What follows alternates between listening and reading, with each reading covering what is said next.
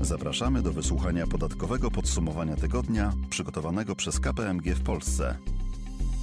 Podsumowanie to cykliczna publikacja, której zadaniem jest informowanie o zmianach w przepisach oraz zagadnieniach podatkowych mających istotne znaczenie dla przedsiębiorców.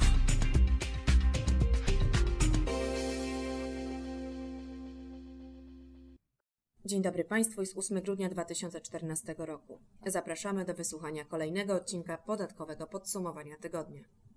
Święta Bożego Narodzenia to okres nie tylko obdarowywania najbliższych, ale też okazja dla pracodawcy, by wypłacić swoim pracownikom dodatkowe świąteczne wynagrodzenie, niekoniecznie w formie pieniężnej.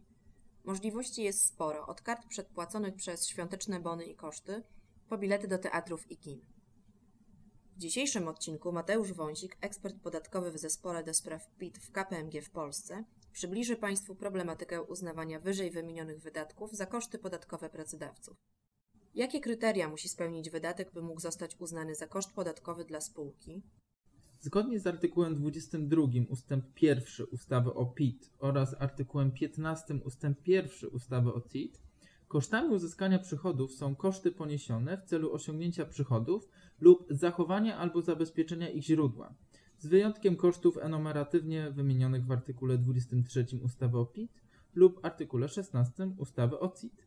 Dla zaliczenia danego wydatku do kosztów konieczne jest zatem, aby pomiędzy poniesionym wydatkiem a przychodem istniał związek przyczynowo-skutkowy, wydatek nie został zamieszczony w katalogu wydatków nie stanowiących kosztów podatkowych.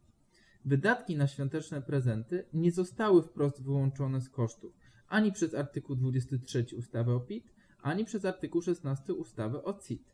Wyjątkiem jest jednakże kwestia finansowania wydatków na świadczenia świąteczne ze środków Zakładowego Funduszu Świadczeń Socjalnych. Jeśli zakup paczek został sfinansowany ze środków ZFSS, to wydatków na ten cel pracodawca nie może zaliczyć do kosztów podatkowych. Wyłączenie takich wydatków z kosztów podatkowych znajduje uzasadnienie w tym, że dla pracodawcy zobowiązanego do utworzenia ZFSS same odpisy i zwiększenia na fundusz są już kosztem podatkowym. Co do zasady, wydatki na świąteczne świadczenia będą mogły zostać zaliczone do kosztów podatkowych każdorazowo, gdy zostaną sfinansowane ze środków obrotowych spółki. Oczywiście przy założeniu, że jest zachowany związek przyczynowo-skutkowy. Z kolei w przypadku finansowania ze środków ZFSS wydatek na świadczenia bezpośrednio kosztem nie będzie. Kosztem natomiast będzie odpis na ZFSS. Finansowanie świadczeń ze środków ZFSS rządzi się również swoimi prawami. O jakich aspektach powinien więc pamiętać pracodawca, decydując się na tę drogę finansowania? Pracodawca, decydując się na finansowanie prezentów świątecznych z zasobów ZFSS, nie może zapomnieć o przyznawaniu świadczeń na podstawie kryterium socjalnego. Co to oznacza?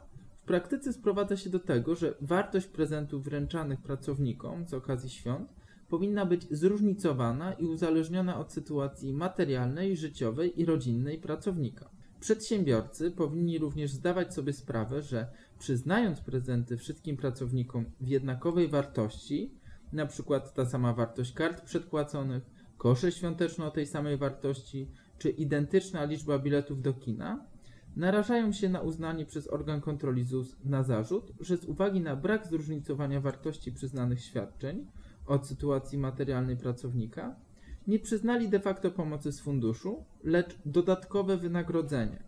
Taka kwalifikacja przez ZUS zobowiąże pracodawcę do naliczenia i odprowadzenia składek na ubezpieczenia społeczne i składki zdrowotnej.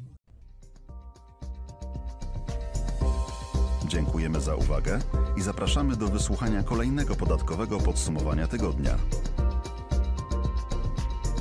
Wszystkie podcasty z cyklu dostępne są na stronie kpmg.pl.